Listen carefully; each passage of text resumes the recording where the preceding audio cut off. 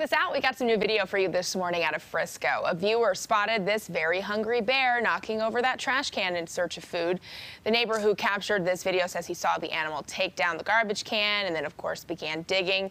Once the bear left, the neighbor went over to put the trash can back upright, but then the bear came back for some more.